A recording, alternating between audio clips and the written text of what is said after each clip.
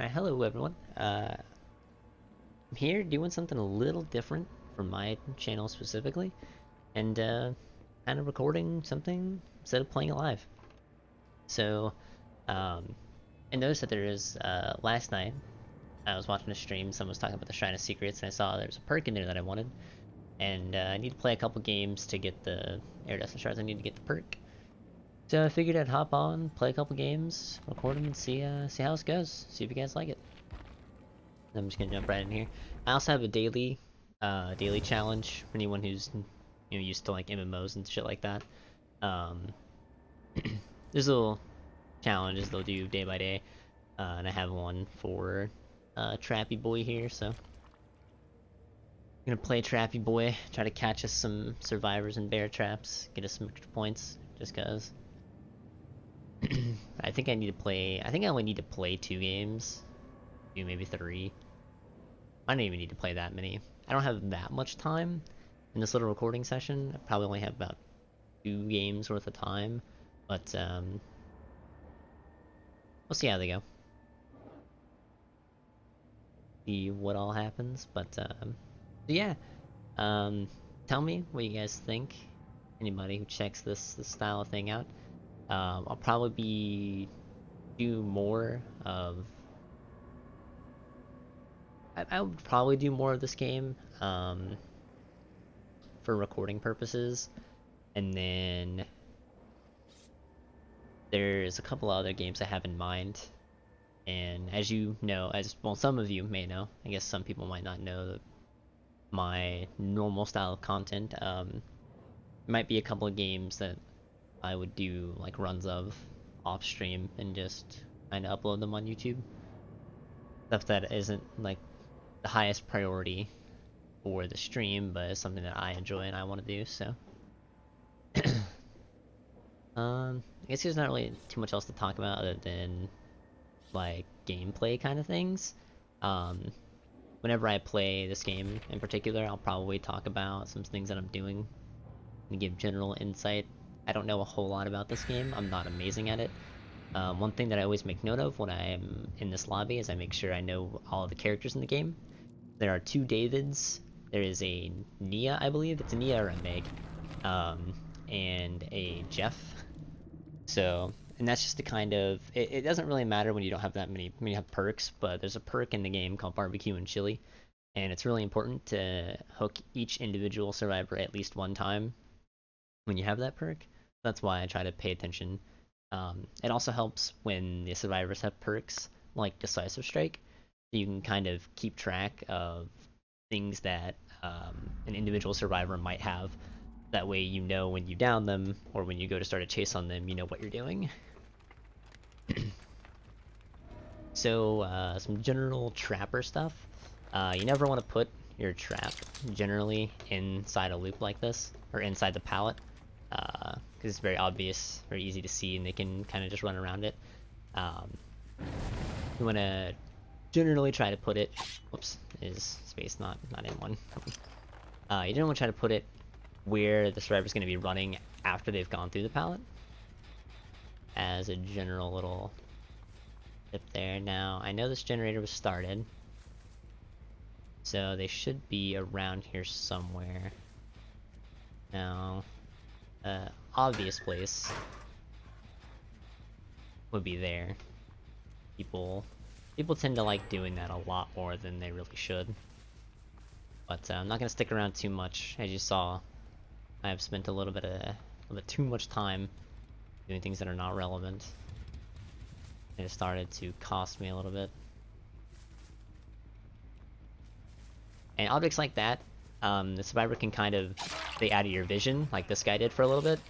So you want to make sure that you do a full circle around it. Kept going. Just make sure that you don't uh, get caught. Now you see my trap right there. Um, he could have just ran to the right if he had wanted to.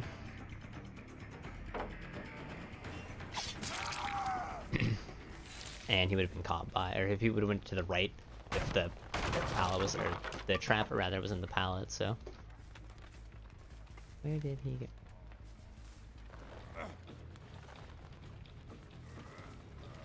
Got him right here. Now I can hear this gen is really close to my left, so I'm gonna go give it a look-see. Like they have ran over to this side. Oh wow. I'm go ahead and do that, huh?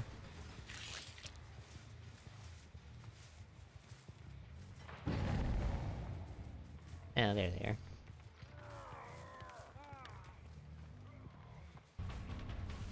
Howdy, good sir.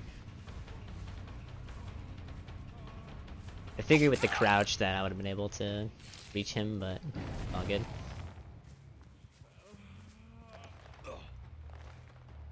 And there's a there's a couple of ways you can play the game.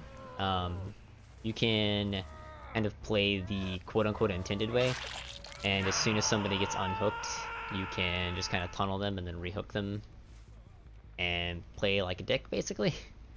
Or you can be uh, a little bit nicer and not tunnel their dick off. And I try to play try to play nicer. Um, because you know when you play nice, everyone gets to have fun. Nice that hard. I'm just gonna break the pallet.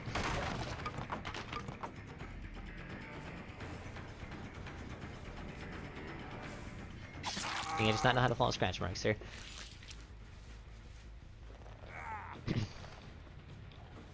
so scratch marks, the thing that I just mentioned.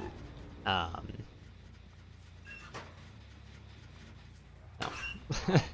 uh, when a survivor is sprinting, um, not just doing the normal walk speed, they leave scratch marks on the ground that you can follow. And he knows about this trap, where nobody else does. They leave scratch marks that they can follow. And it'll lead you basically right to them. They stay for a couple of seconds, but um, they generally go away after a little bit of time has passed. Right, that generator there's been done, so I'm gonna try to start setting up traps on this side of the map.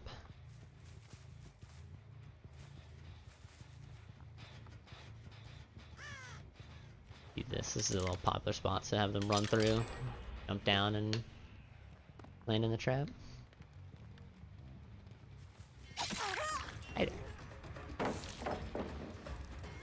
That's something you never want to do as a survivor, is just immediately drop a pallet. Unless they are right on you. But right there, she had more than ample enough time, or more than ample time to get away. Basically, I just get a free pallet down out of that.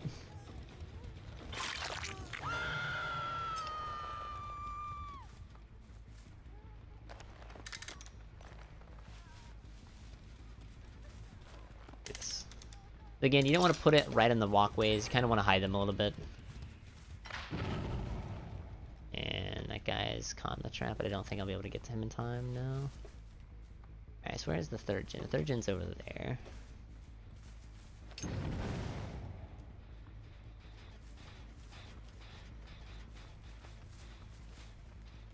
Make sure there's nobody around here. Kind of a weird spot. Hopefully catch that person off guard. And I've been right next to these two gens. I know they're not over here, so I'm gonna go over here and make sure that they're not touching this one. Or not. A little out of the way here and grab this trap. A little obnoxious. And his power is so... Not good, but, you know. It is what it is. Can't have everyone be a really good killer.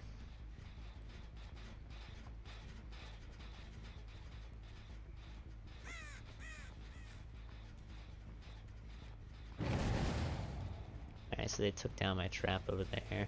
I haven't touched this one, so these two gens on this side are pretty good. They've, le they've left me with a pretty decent setup here. Um, they have to complete one more gen out of these three, and I can pretty easily patrol these.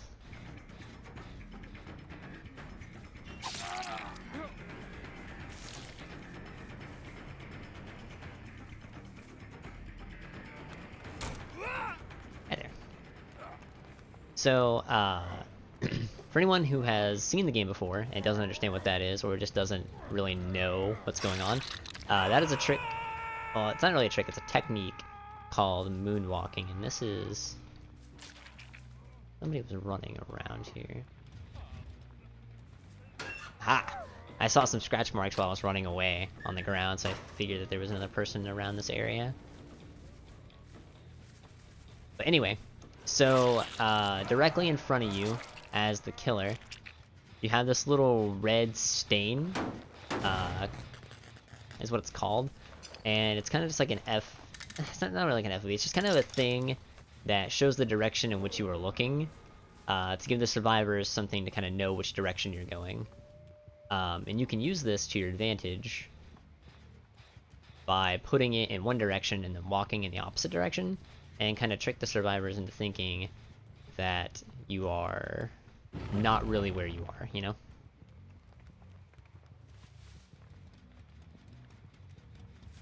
Like, for example, I can kind of put it over here to make them think I'm going that way and then walk this way instead, and it's just something that's kind of tricky you can do.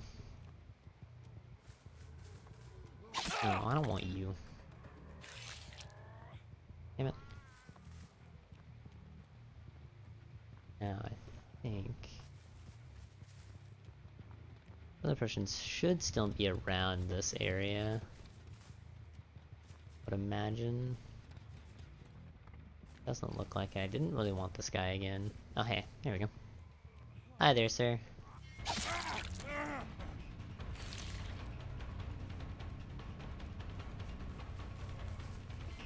Don't want you, go away. Where did your friend go?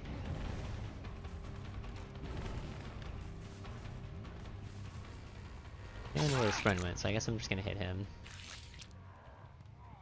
I didn't want to keep tunneling this guy, but I don't know where his buddy went. And it's better to just kind of take the take the kill sometimes. Um, I did get to lure the guy out, but like I said, I don't know exactly where he went, so... I know he's over here in this general area, though.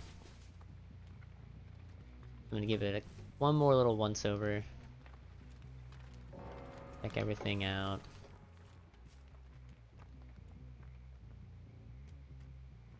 Alright. Now I'm gonna go back over to the other side. Since I've been patrolling this side pretty heavily, I don't think the, the other person obviously is not gonna be over here, so... Over here and give these two looks. Give this side a look-see. Yep. As expected.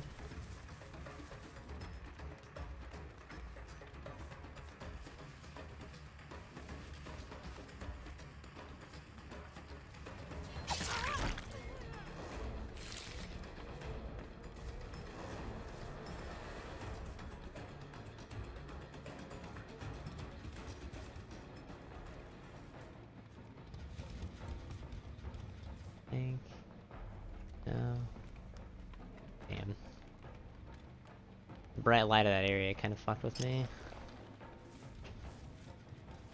There's not a door over here, so... I'm gonna come to this door, which is already open, damn. Then I'll go ahead and force him out. And then what I'll do is I'll throw this right here on this side. Oh, hi. Alrighty. That wasn't too bad. I definitely could have pressured a little bit more there at the end, but, uh, you know. That's just how the cookie crumbles sometimes. Overall, I would say it was a decent game. Could utilize my traps a little bit more effectively, but, you know. We take those. And yeah, I, I didn't even need to play another game. That should be more than enough to get my perk, yeah. Like these these map gamers. uh, the item is neat, but I don't know. I feel like you can just use your own knowledge, and it wouldn't even matter. But uh, that'll be the first game. I'm gonna cut the recording here, so that way it's easier to upload. And uh, I'll see you guys uh, in the next one.